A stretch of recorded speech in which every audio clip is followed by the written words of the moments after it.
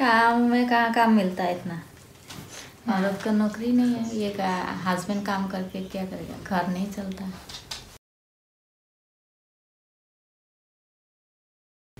गाँव से तो फराक है चलना फिरना कमाना खाना पीना। फ़र्क तो होगा ही उधर कम है इधर ज़्यादा है। सब यही है बेटी है गाँव है।